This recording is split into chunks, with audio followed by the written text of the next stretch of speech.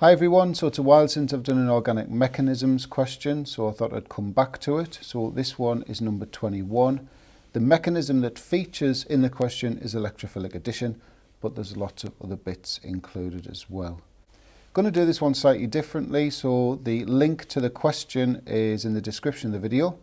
So if you just click on that, have a go at the question and then play the video for the answers.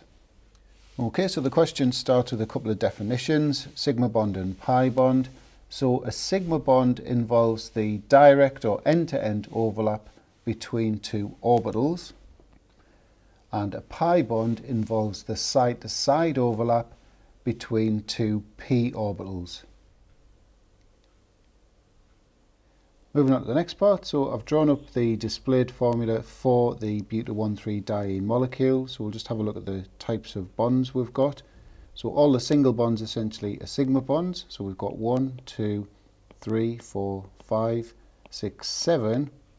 But we've also got a sigma bond in each of the double bonds. So there's nine sigma bonds altogether. And as well as the sigma bond in the double bond, we've also got a pi bond. So we've got two of those.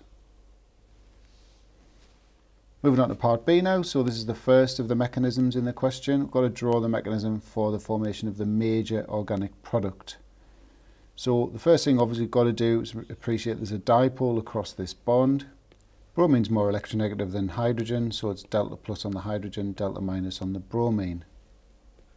We draw a curly arrow from the middle of the double bond onto the slightly positive hydrogen and we break this bond between the hydrogen and the bromine shown like that with that curly arrow. Remember we've got to draw the formation of the major organic product so that involves this carbocation. I'll explain why it's this one in the next part of the question but basically this hydrogen had a choice could either go there or there.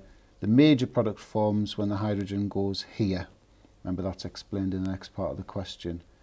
The bromine becomes a bromide ion.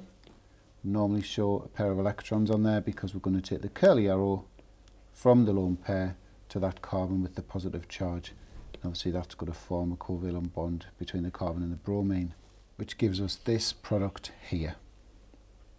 So moving on to the explanation of why this major product forms, I've now got the original carbocation, the one we saw in the previous uh, slide, but this is the other one that could have formed. So if we think about the type of carbocations we've got, the one that the major product forms from is a secondary carbocation because it's got two carbon groups bonded to the C with the plus charge. This one here has only got one carbon group bonded directly to the C+, plus, so this is a primary carbocation. Secondary carbocations are more stable than um, primary ones, and so the major product forms from the more stable secondary carbocation. Uh, moving on to the last part of B, how many saturated organic products could be present in this mixture when buta-1,3-diene reacts with an excess of hydrogen bromide? Well, it's going to react with two moles of HBr because it's got two CC double bonds. So we just think about where the bromines could add, so you could have both bromines here and here, so at each end, that would lead to that product there. You could have the bromines going here and here, which would lead to that one there. You could have a bromine on the very end on the left and on this one here. So the answer was obviously 3. Moving on to part C, so we've just got to give the definition for the term stereoisomerism. So that's when you've got molecules with the same structural formula but with different spatial arrangements of atoms or groups. And the next part is the student correct or incorrect with these two being stereoisomers. Well, the student's incorrect because this sigma bond in the middle here can rotate. So basically, if that spun round, you'd get that. And finally, the unfamiliar Diels-Alder reaction now. We've got some information about the reaction between buta-1,3-diene and ethene, and it's making cyclohexene. So we've just got to think about the curly arrows in this mechanism here. So if we look at what's happened, they've told us a pair of electrons have gone from the carbon-carbon double bond and gone to here between these two carbons.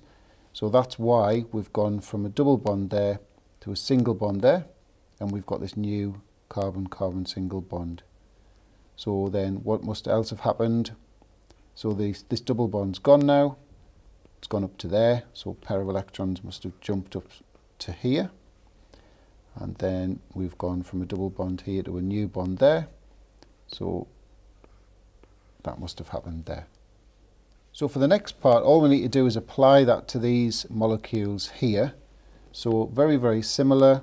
We're going to have that's going to go like that, that's going to go like that, and that's going to go like that, which will lead to that molecule there.